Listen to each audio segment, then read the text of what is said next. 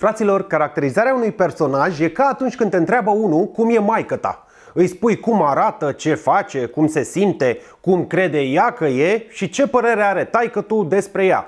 Exact așa faci și cu caracterizarea Vitoriei Lipan. Te interesează trăsături fizice, trăsături morale, caracterizarea directă și caracterizarea indirectă. În alte cuvinte, imaginează-ți că Victoria Lipan e maică ta și hai să-i facem caracterizarea.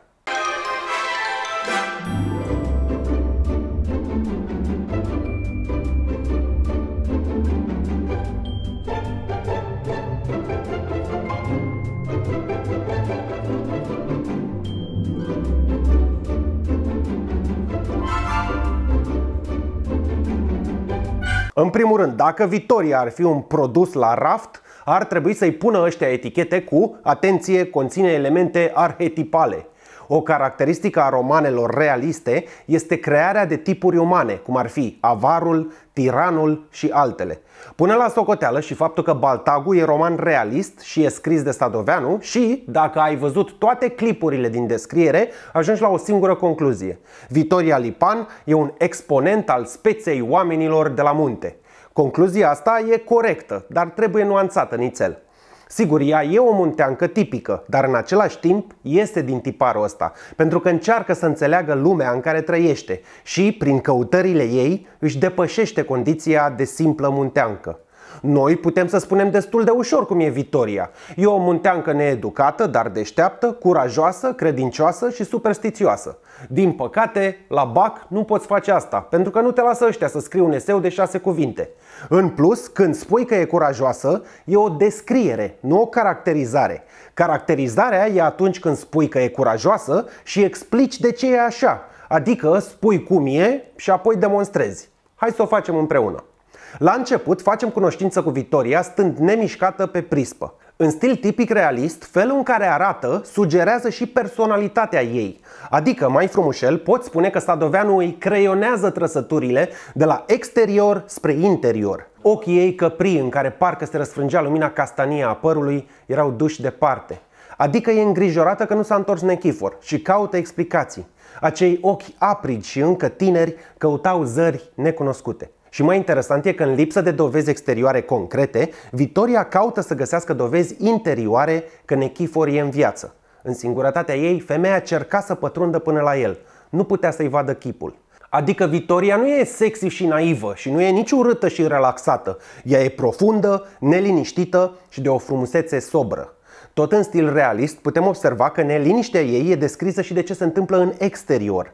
Ea toarce fire la fus, dar o face din reflex, fiind prea îngrijorată să se poată concentra pe muncă. Fusul se învârtea harnic, dar singur. Sfătuindu-se cu părintele Daniel, Vitoria refuză să creadă că Nechifor ar întârzia mai mult de o zi sau două. Nesatisfăcută de explicațiile preotului, se duce și la baba Maranda, ghicitoarea satului. Asta îi zice că a părăsit-o pentru o femeie cu ochii verzi, dar Vitoria nu o crede nici pe ea și bănuiește că bărbatul ei a pățit o nenorocire. În loc să se bazeze pe preoți sau ghicitoare, Vitoria citește soarta soțului în semne tainice și rău prevestitoare.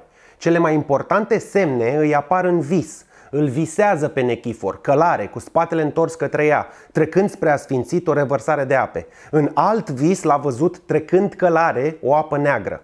Alt semn rău e că în mintea ei îi aude glasul, dar nu poate să-l vadă. Pe măsură ce se adună semnele, neliniștea ei se transformă în bănuială. Vitoria nu trăiește după calendar și nu-și notează în agenda ce are de făcut. În schimb, se conduce după semnele naturii, semne pe care le observă și știe să le interpreteze. Ascultă cum șuieră vântul prin crengile mestecenilor, vede că brazii sunt mai negri decât de obicei și crede că nourul către ceahlău e cu bucluc. Iarna care vine sugerează drama prin care trece femeia. Bun, până acum am aflat cine e femeia asta. Practic, aproape tot ce se întâmplă la începutul romanului e o descriere a personajului Vitoria Lipan. Dacă se întoarce cocoșul, e despre Vitoria Lipan. Dacă bate vântul, E tot despre Vitoria Lipan. Acum că știm cum e femeia, a venit momentul să aflăm și cum se comportă o femeie de genul ăsta în diferite situații. Vitoria se hotărăște să plece la drum și să-și caute bărbatul. Dacă a intrat el pe celălalt tărâm, o intra și eu după dânsul. O intra, de la oaie, Te-ai prins? Glumesc, nu scrie că oie e de la oaie, că pici bacu.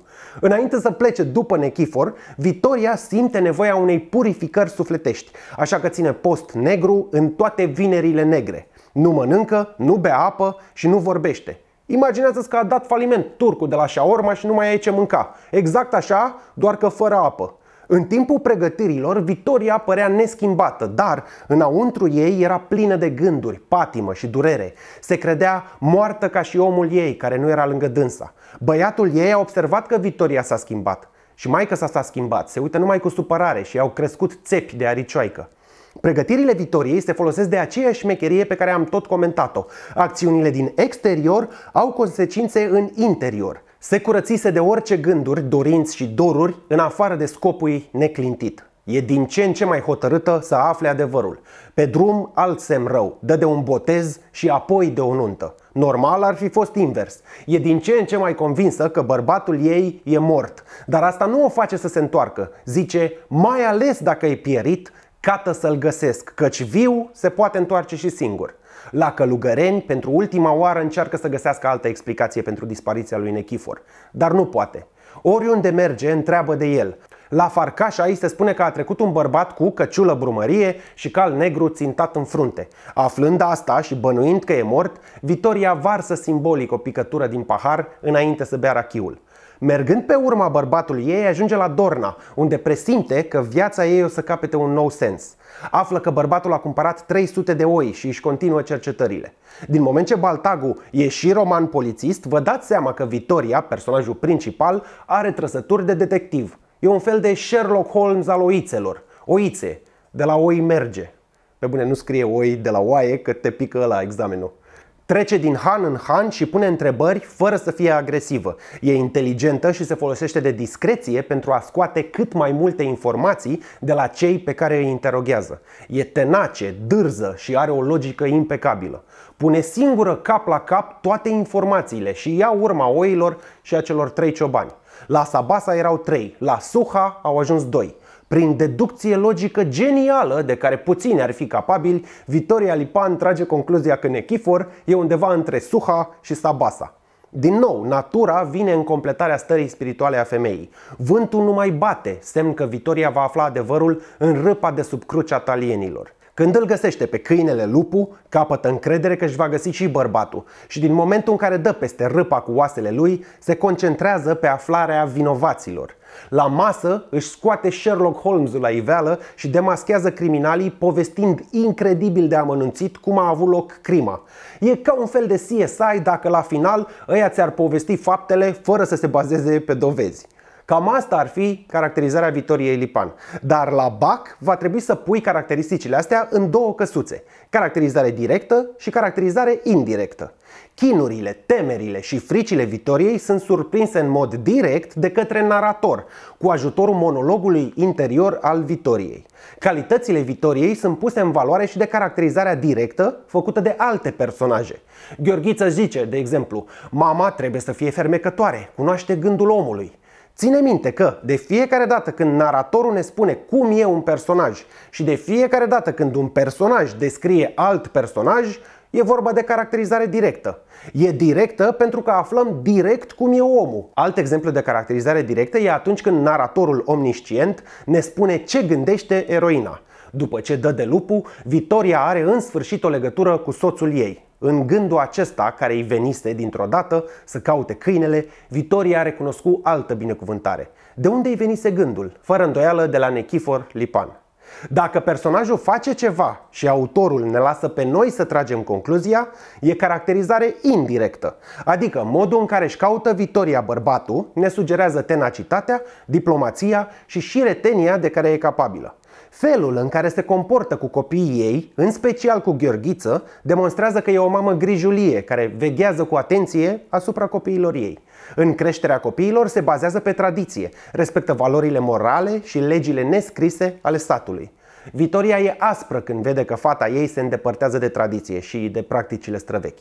Cu Gheorghiță e o mamă răbdătoare care îl ajută să se maturizeze. În final, o ultimă observație. Din moment ce romanul Baltagu e plin de simboluri care duc către Miorița, nu uita să scrii că Vitoria e o variantă sadoveniană a maicuței bătrâne din Miorița. Vitoria Lipan este probabil cel mai bine conturat personaj din proza tradițională românească și am putea vorbi la nesfârșit despre ea.